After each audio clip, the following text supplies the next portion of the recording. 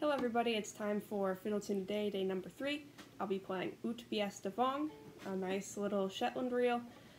Uh, I'm not entirely sure that that's the correct pronunciation, but that's how it's spelled, so that's what I'm going with.